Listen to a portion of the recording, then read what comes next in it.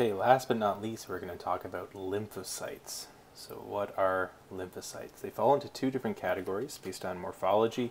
You have your naive lymphocytes, which are your T and uh, B lymphocytes when they're naive, obviously, when they're young, or quiescent.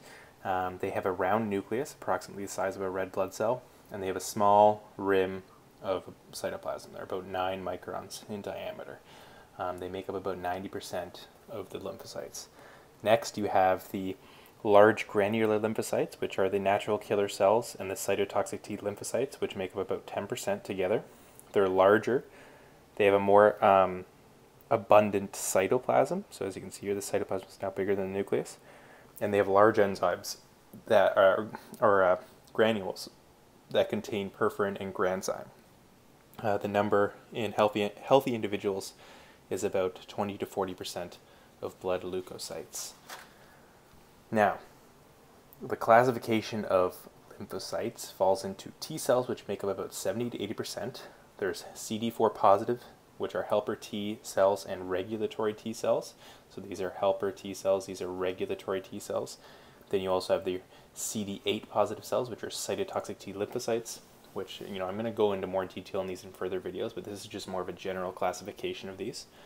Then you have your B cells down here, which make up about 10 to 20%, which are part of your adaptive immune uh, response. Then you have your natural killer cells, which make up about 5 to 10%, and then your natural killer T cells. They express functional T cell receptors, as I saw in the previous video, the T cell receptor on the killer uh, T cell, and they respond to CD1 antigen presentation rather than class 1 and class 2 MHC molecules, which we'll see later on is very important. Um, oh, another thing I wanted to say was there the ratio of CD4 to CD8 cells is 2 to 1. There are two CD4 cells for every CD8 cell.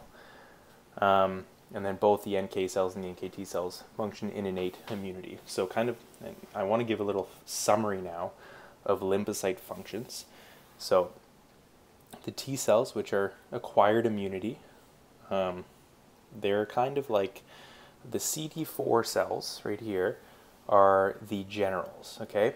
So think about them. They help activate these CD8 cells, which are the soldiers, right? Um, so they activate these CD8 T cells, also activate B cells, macrophages, and other immune cells to help regulate immune responses.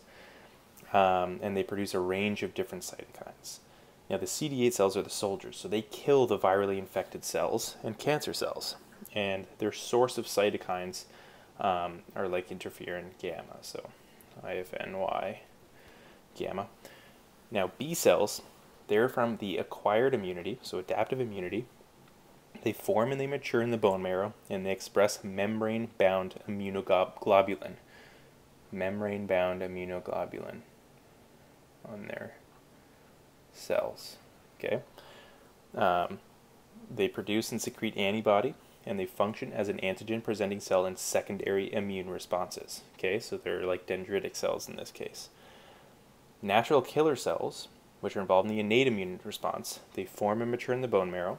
And then you have your natural killer T cells, which is also involved in your innate immune response. They form in the bone marrow and they mature in the thymus. Remember that. So remember when we talked about the, the development and the hematopoiesis of these cells, natural killer cells and B cells they both mature in the bone marrow, right? And that's it. When you look at T cells and natural killer T cells, they uh, they start in the bone marrow, but then they mature in the thymus, and they use interactions with different antigens and other mature cells in order for themselves to mature.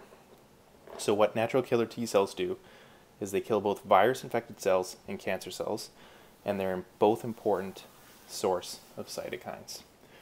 So in future videos, we're going to be talking about the innate immune response before moving more into this adaptive immune response of, of these T cells and B cells. So in the next couple of videos, we'll be talking about natural killer cells and uh, the function of the innate immune response as it responds rapidly to infections and anything going on in your body while it waits for the adaptive immune response to uh, start start up and and it's a little slower, but the adaptive immune response is, is very necessary, as we will see.